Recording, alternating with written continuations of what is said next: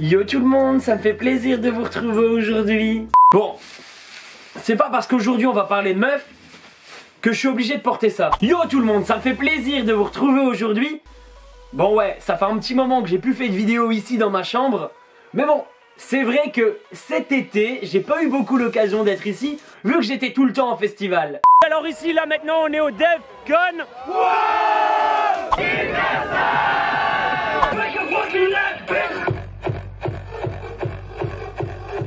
D'ailleurs, dites-moi en commentaire si ça vous intéresse que je fasse un récapitulatif de tous les festivals que j'ai fait cet été. Et si tu veux voir directement ce que je suis en train de faire pendant mes week-ends, n'hésite pas à me rejoindre sur Facebook, Instagram, Snapchat et Twitter. Les liens sont dans la description. Et le plus important, abonne-toi pour voir toutes mes vidéos en premier. Et clique sur la cloche des notifications aussi, c'est toujours un petit plus. Comme vous avez pu lire dans le titre de la vidéo, aujourd'hui je vais m'adresser plus particulièrement aux filles. Oui oui, vous les filles qui regardez la chaîne. Maintenant si t'es un mec et que tu regardes aussi la vidéo, t'en vas pas tout de suite.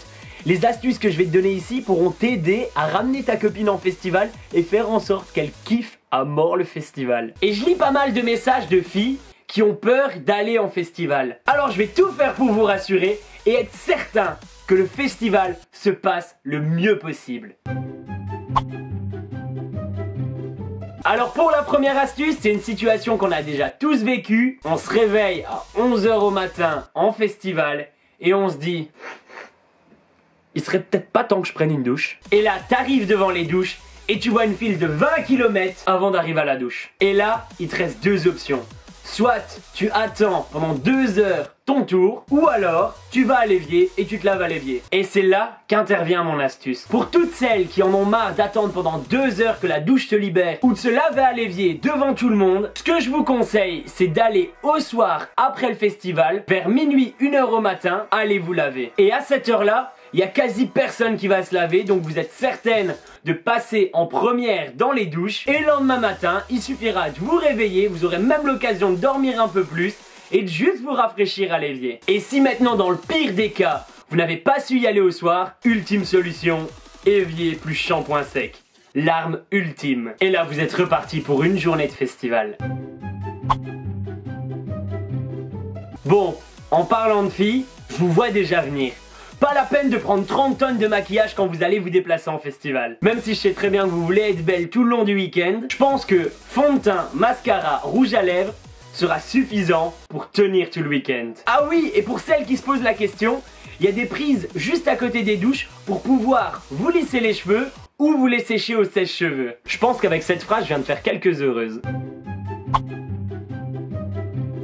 Alors on le sait tous, une fille possède toujours son sac à main. Mais le prendre en festival, c'est une très très très mauvaise idée. Déjà, rien qu'à la fouille à l'entrée du festival, vous allez perdre du temps. Et en plus, je vous mets au défi de danser convenablement avec un sac à main. Et à la fin de la journée, vous risquez de plus avoir de bras à force de le tenir. Par contre, le sac à dos, ça, c'est une bonne alternative. Avec à l'intérieur lunettes de soleil, crème solaire, élastique. Ça, c'est très très important un élastique. Lingette, mouchoir, médicaments pour les maux de ventre et pour les maux de tête. Ah.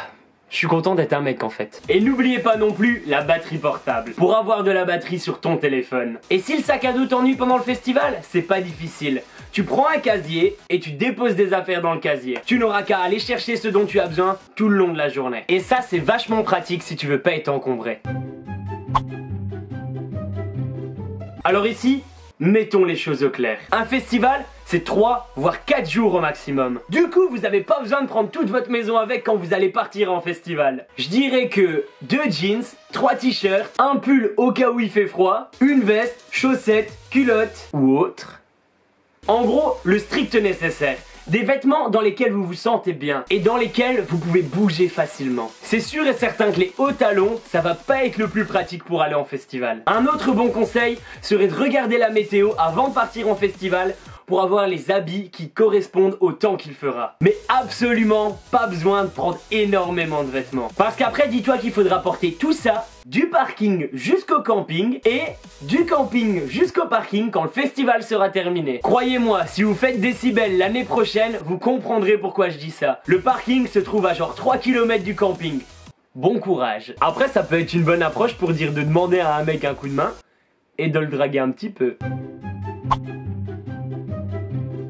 La cinquième astuce est sûrement la plus importante de toutes les astuces et elle vaut tant pour les mecs que pour les filles. N'ayez pas peur de partir plusieurs jours avec vos potes et n'ayez aucune appréhension. Tout se passera bien. Partez positif et ne vous en faites surtout pas. Les gens seront corrects avec vous et vous vous ferez sûrement des amis juste à côté de vous au camping. Et si vous avez oublié quelque chose, ne vous en faites pas non plus quelqu'un sera là pour vous le prêter. Et si vous avez un problème, n'hésitez pas à demander de l'aide ou à demander conseil à quelqu'un. Il y aura toujours quelqu'un pour vous aider. Gardez le sourire, partez serein et motivé et vous passerez le meilleur moment de votre vie. J'espère que ces 5 astuces vous seront utiles en festival. Bon, et je vais être honnête avec vous, j'aurais eu un peu de mal à réaliser cette vidéo sans la personne qui est juste à côté de moi là pour le moment. Et ouais, c'est grâce à moi.